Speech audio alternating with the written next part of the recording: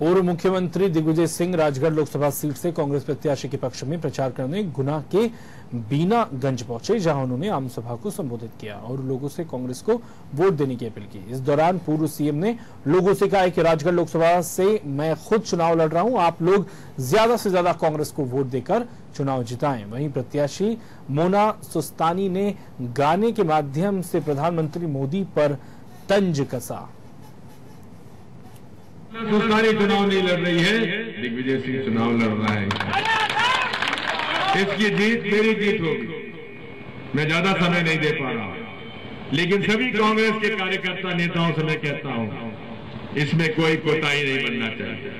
कोई कुछ भी कहे कि इसमें ये नाराज़ वो नाराज़ कोई नाराज़ नहीं। हम सब मिलकर मोना सुस्तानी को जिताएँगे कि मात्र मैं सिर्फ़ चेहरा हूँ। चुनाव राजा साहब लड़ रहे हैं। राजा साहब ही यहाँ पे चुनाव लड़ रहे हैं। यही आप पूरी तरह से ध्यान में रखो और मैं तो बहुत छोटी सी कार्यकर्ता हूँ। मैंने तो कभी सपने में भी नहीं सोचा था। लेकिन हाँ ये बहुत ईमानदारी की बात है कि हमारी तीन चार पीढ़ियाँ लगातार राजा साहब के साथ में पूरी तरह से जुड़ी हुई हैं।